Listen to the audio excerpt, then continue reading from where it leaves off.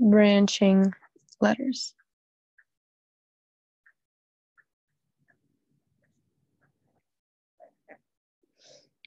Now these are called reverse branching letters because just like the branching letters, they're just like the branching letters, but they're upside down, basically.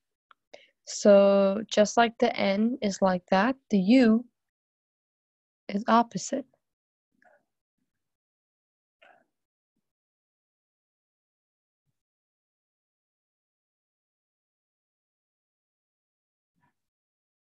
The Y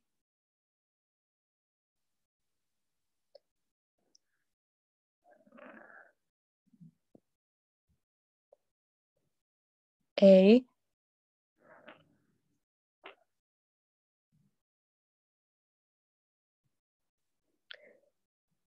D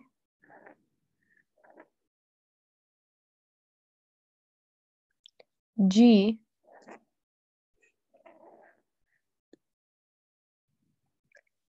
and P.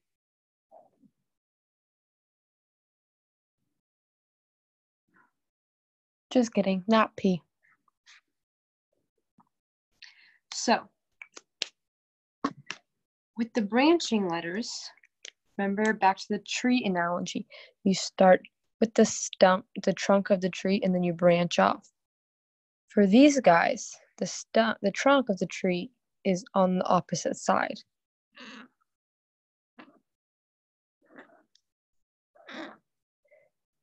You start with the extra part and then you get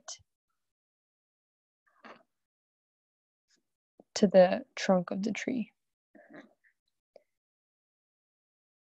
So with the branching letters, you start with the the hard part, not not the, like difficult, but like you start with the the the main one, the first very first line, the trunk of the letter. And then you go to details. Boom, details.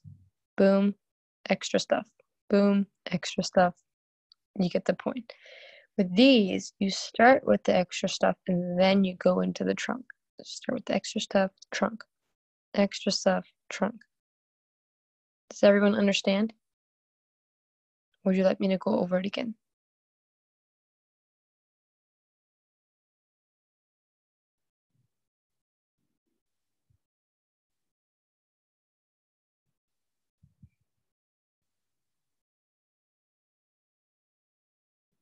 Okay. To our next letter group.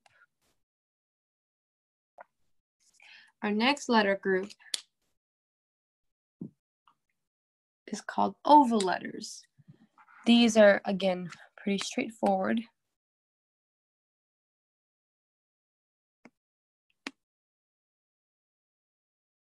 Okay, these are pretty straightforward, just like the name. They are the circular letters. The letters that you have to go around. The oval letters are O, C, and E. These are oval letters because they go we all the way around, all the way around, all the way around. Oval letters. Pretty straightforward.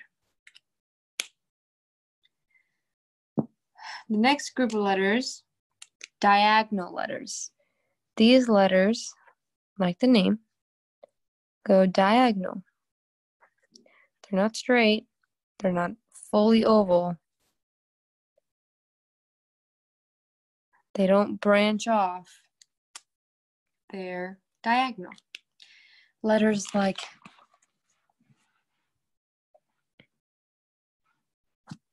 S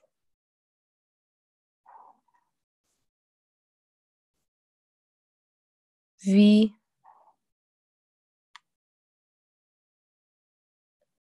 W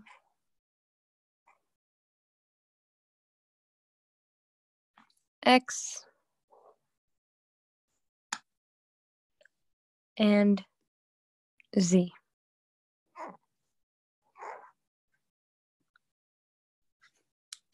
These letters, just like the name, are diagonal. They're not straight. They kind of do a little curve in some of them. Some of them are actual diagonal, like it's not straight, just like the V is not straight. Otherwise, it just look awkward. It's not straight because then it would just be a straight line like that. It's diagonal.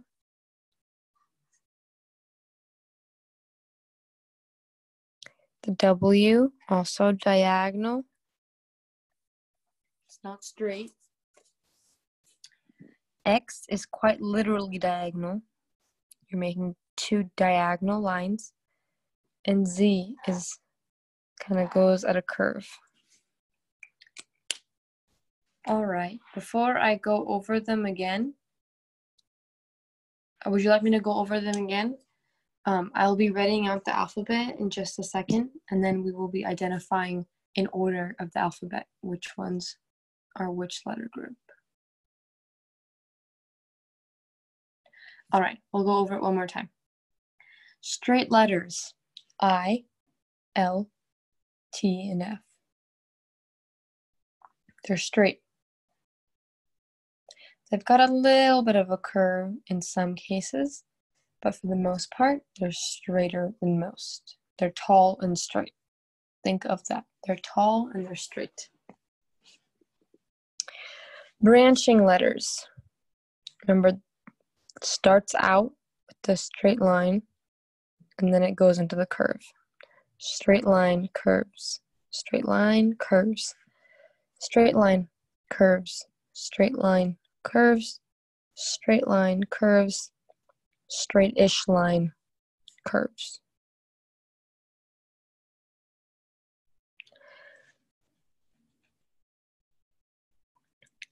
The, the branching letters are N, M, H, B, P, K, and R. The reverse branching letters start out with the curve and end with the, the straight line or end with the main curve.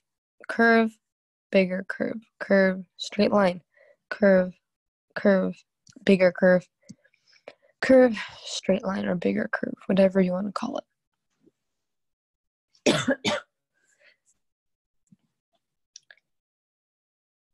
it's all where you put the focus. With these two types, with these two groups, it's all where you put the focus. All right. Oval letters, O, C, and D, go round, round, round.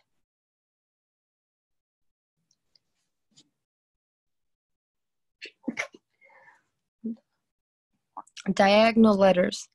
These are letters that are diagonal. So the S, the V, W, the X, and the Z. All right, does anybody have any more questions?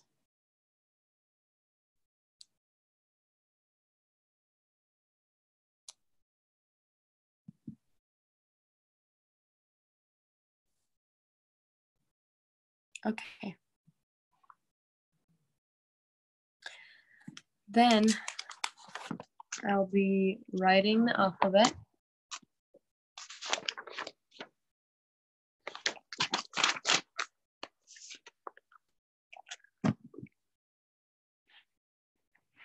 I was starting it and then I'm just going to quickly finish it real quick.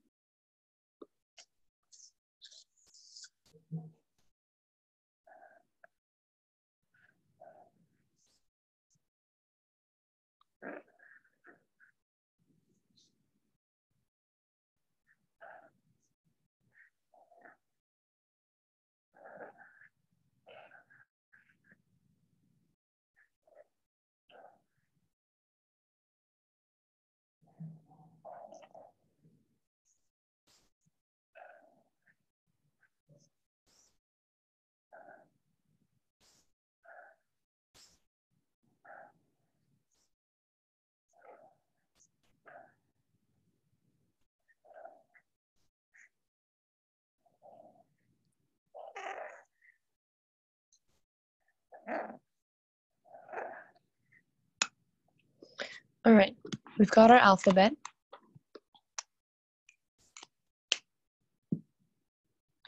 We've got our darker marker, and we're going to, based on each letter and its format or style, we're going to figure out which letter is belongs to which group. If we look at A, you'll see that the straighter part is on the opposite side and the curve is on the right, the left side.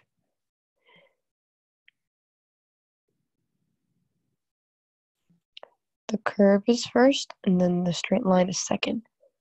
Therefore, The reverse branching letter? yes. We'll put RB just for short. The B, if you can see, the larger line or the straighter line comes first and the curve is second.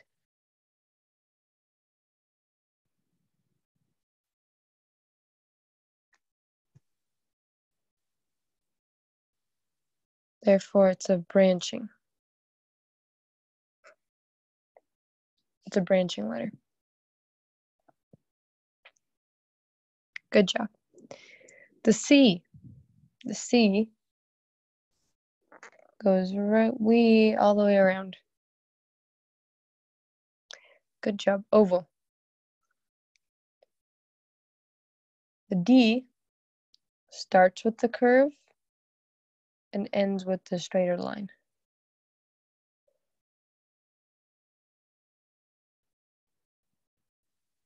Reverse branching. The E goes all the way around. Oval, good job. The F, tall and straight.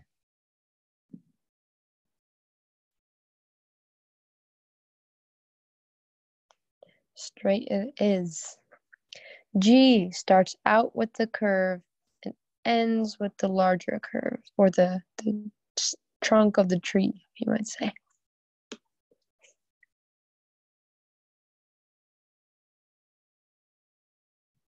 Reverse branching. Good job. The H starts with the trunk and then branches off. Branching, good job. The s- tall and skinny. Or short and skinny, depending on how you write it. Straight, good job.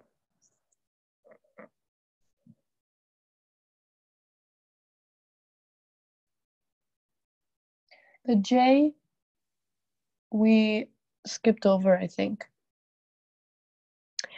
Yes, the J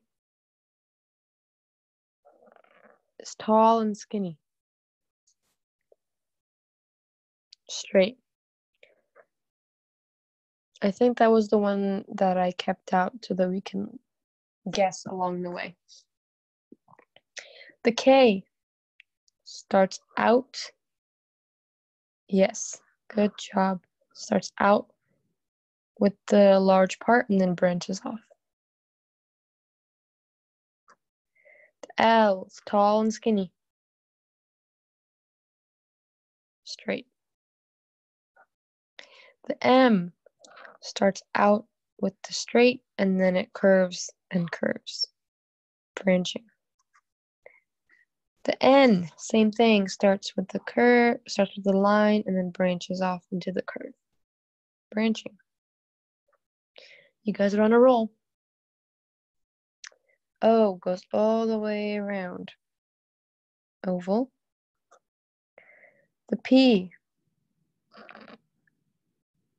Branching, good job. Q. The Q is another one I think we left out. Reverse branching.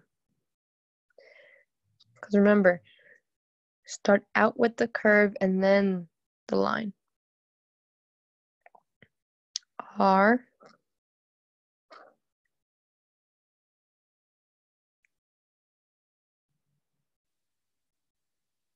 I think the R was in the wrong spot. It makes more sense for it to be reverse branching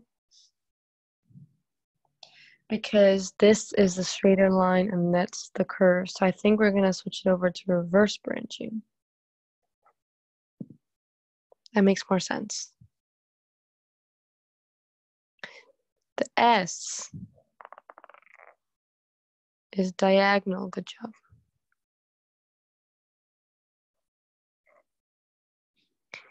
The T is tall and skinny. Straight. The U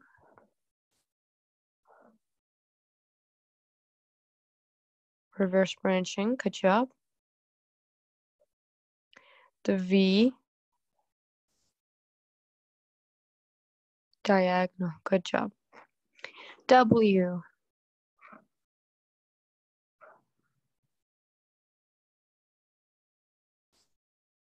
good job. X.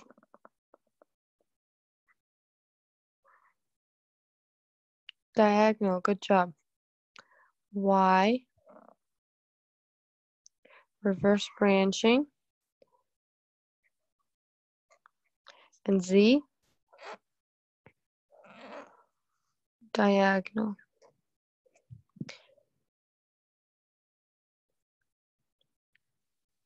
Sorry, guys.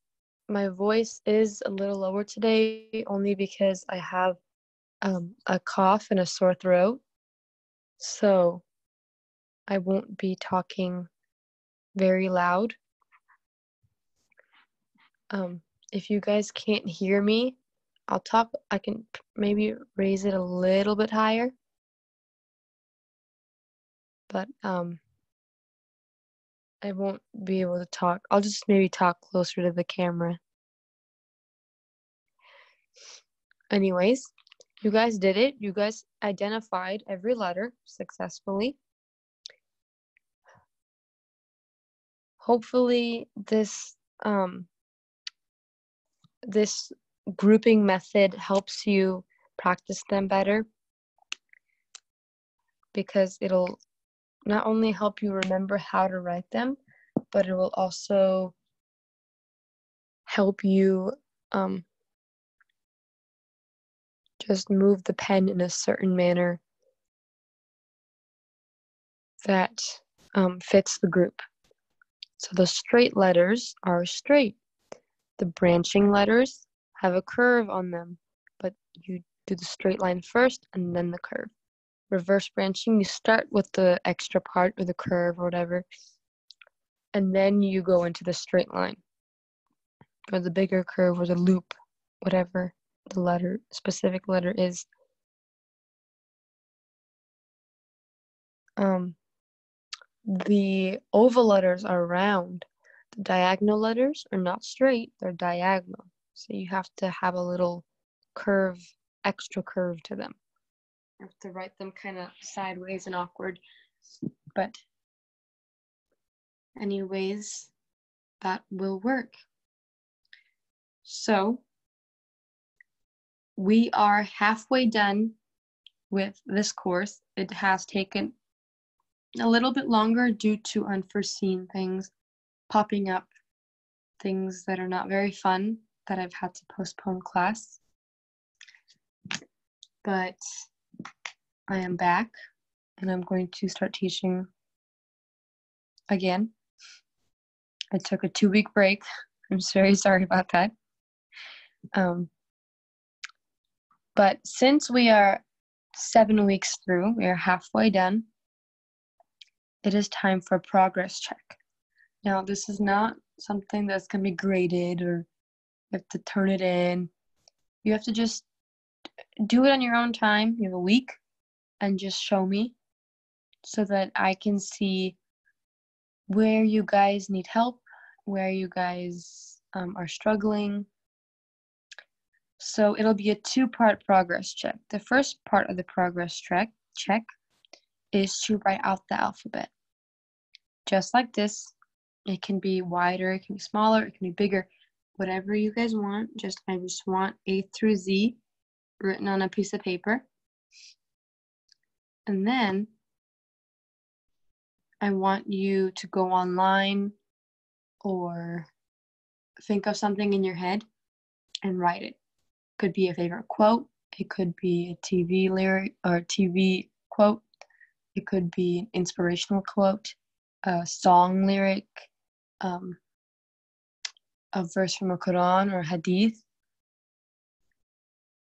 Um, it could be anything. It could be your favorite store, your favorite stores. It's got to be multiple, as at least, let's say at least five words, give or take. But I just want to see where you guys are so that I can teach specific things. Because at this point, we're going to talk about perfecting our calligraphy. We talked about we've talked about the different tools you can use. We've talked about the different strokes, downstrokes, underturn strokes, overturn strokes, compound strokes, upstrokes, ascending loop, descending loop, oval strokes. We've talked about how to use those strokes in each of the letters. We've broken down every single letter. And now we've talked about the different kinds of letters and different letter groups. So now that we've talked about the alphabet and every single letter, we've gone over every single letter detailed. Now we're going to talk about spacing and consistency. We're going to talk about what the different lines are called because in calligraphy there are special lines on the paper. You know how these are perfectly spaced for school. In calligraphy, there's different kind of paper. There's a specific kind of paper you can use, the specific kinds of lines on it, and I'll teach you guys what are, what those are called. I'll teach you how to do different kinds of calligraphy. That's called bounce lettering um, distance lettering. Sorry. So faux calligraphy we'll go into that. We'll go into um, uh, adding doodles and details like extra lines and shadows. And then we'll do a final overview. So that was what the rest of the course is going to look like. So um, I want to perfect the alphabet so this is what this assignment is going to be. There was something in the chat. Whoa. There was something in the chat. Hold on, let me check it real quick. Can you write the homework in the chat so I can copy and paste it? Yes.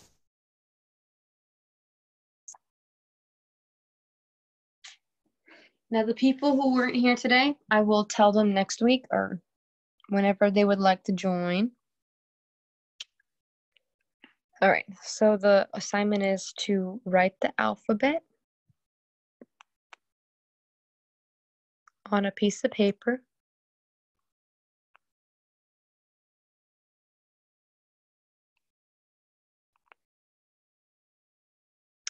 And to write at least five words of your choice. It could be your favorite months. It could be your favorite numbers written out. It can be your favorite words to write in general, if anybody has a favorite word they want to write. I just want to see how you guys are writing and what it looks like so that I can teach you guys things that you might not understand fully because I can't see you guys. So this is my way of checking your progress to progress check. Alrighty, guys. Any questions on anything? I'll go ahead and stop the recording.